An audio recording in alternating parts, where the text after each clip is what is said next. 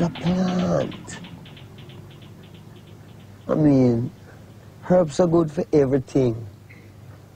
Why, why these people who want to do so much good for everyone, who call themselves governments and this and that, why them say you must not use the herb?